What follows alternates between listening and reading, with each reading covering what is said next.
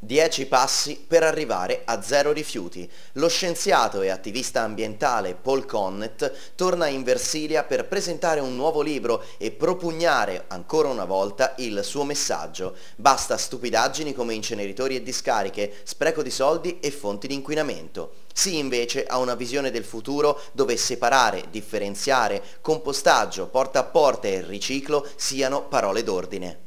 It's a concrete step ci vuole un passo concreto per la sostenibilità e la salute dei cittadini. Siamo noi a produrre i rifiuti, quindi serve che ogni cittadino li separi e ricicli e dobbiamo far capire alle industrie che se una cosa non può essere riciclata allora non deve essere prodotta. Ci servono progetti migliori per i secoli che verranno.